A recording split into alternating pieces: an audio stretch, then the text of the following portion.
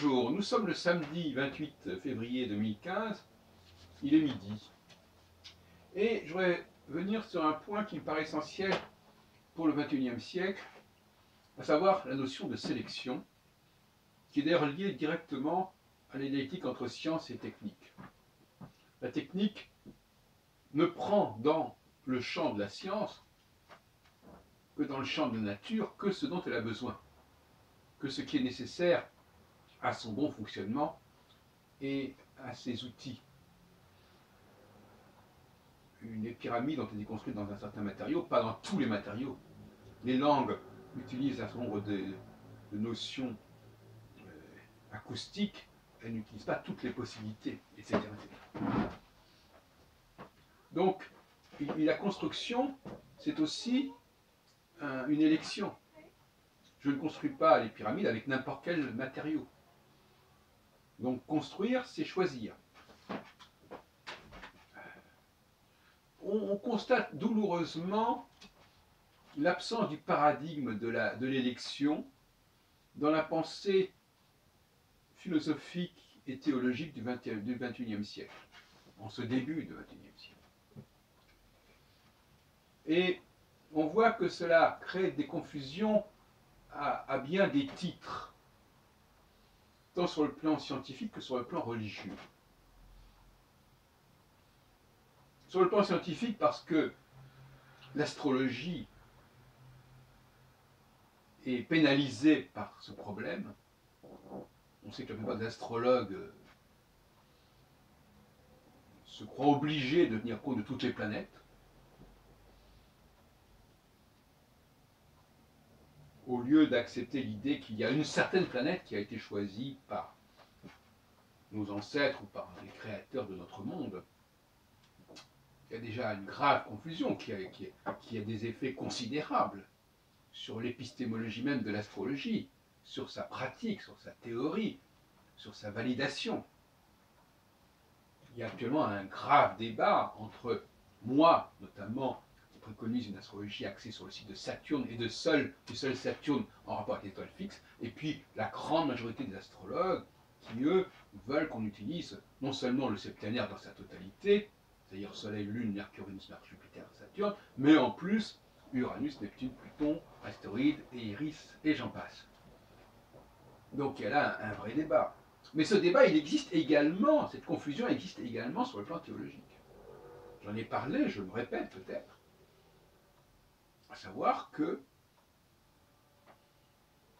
il n'y a pas forcément, dans la problématique judaïque notamment, il y a un certain Dieu qui est choisi parmi d'autres dieux, tout comme il y a une certaine planète qui est choisie parmi d'autres planètes, et qui va être la planète dont l'humanité va dépendre, tout comme le peuple juif va choisir un Dieu qui sera son Dieu, notre Dieu, comme disent les Juifs dans leur livre de prière. Notre Dieu.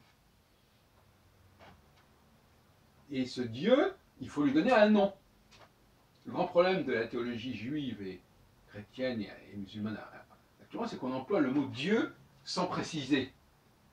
Qui est Dieu Comment s'appelle ce Dieu? Où est-il? Où est-il? Parmi d'autres dieux. Où se situe-t-il? C'est comme Saturne se situe parmi d'autres planètes.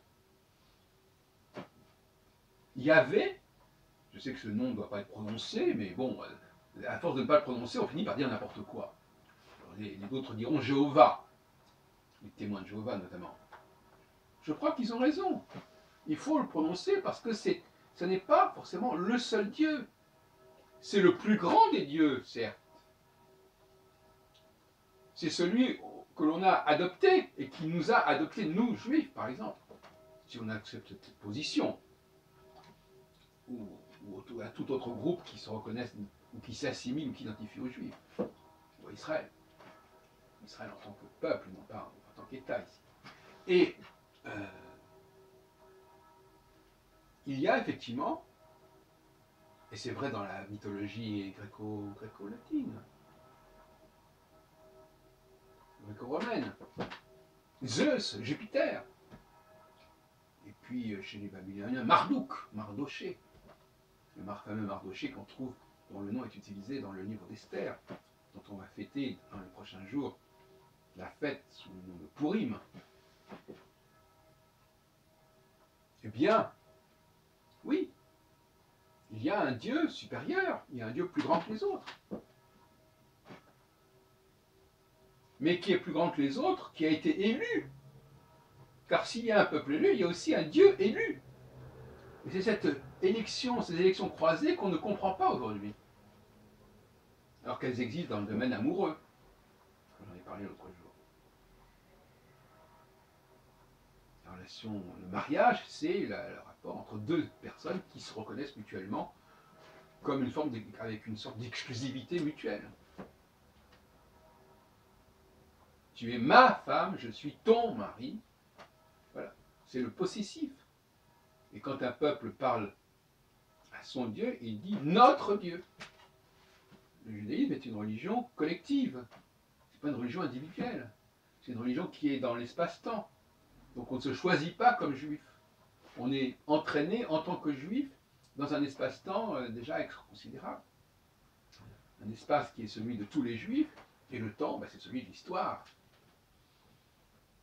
avec euh, ces drames, avec ce Shoah qui est, le, quasi, qui est, emblématiquement la marque d'un destin collectif. Aussi dramatique soit-il, il est collectif et euh, il, il, doit nous faire comprendre que nous sommes dans une identité collective. Donc, vous voyez à quel point la confusion, on ne, la confusion se situe sur trois plans ou plutôt les enjeux sont situés sur trois plans. Le plan technologique, quels matériaux utiliser. Le plan scientifique, quels facteurs considérer. Et le plan théologique, quel Dieu considérer. Et dans chaque cas, on n'est pas dans la totalité on est dans la supériorité, c'est pas la même chose. On est dans l'élection. Et cette espèce d'idée de la totalité, d'un Dieu total, d'un Dieu pour tous, d'un univers pour tous, globalement. Parce que d'un Dieu pour tous, ça serait en quelque sorte une façon de dire tous les dieux. Nous, retomberions dans le, dans, le dans le panthéisme. Il n'est pas possible de parler d'un Dieu, d'un Dieu unique. C'est la grande ambiguïté du schéma Israël, qui dit à un moment donné, Yahvé Echad. Yahvé Echad. on traduit par, on traduit par euh, Dieu est un. Mais en réalité, je ne, je ne parle même pas de la façon dont on le, au lieu de dire Yahvé, on dit euh, Adonai, etc. Schéma Israël, Yahvé, Elohim, Enu, Yahvé, Echad. Mais là, mais là, Yahvé, Echad, c'est pas qu'il y a un seul Dieu. Ça veut dire que, puisqu'on vient de dire à l'inverse tout à l'heure, Elohenu, c'est notre Dieu. Si c'est notre Dieu, c'est-à-dire qu'il y en a d'autres. Et donc s'il est Echad, ça veut dire que il est le seul qui compte pour nous. Echad dans ce sens-là, seul qui compte pour nous, pas unique, comme il est traduit, pas un. Il y a donc des confusions dans la traduction. Dans de cette fameuse prière, pourtant, écoute Israël, le schéma Israël, qui est la prière fondamentale, en quelque sorte. Afta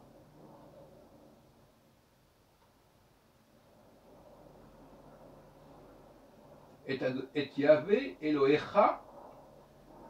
tu aimeras, parce que Va'afta, paradoxalement, c'est un passé, mais avec le verbe renversif, il devient un futur, c'est assez étrange. Et tu aimeras Yahvé, ton Dieu.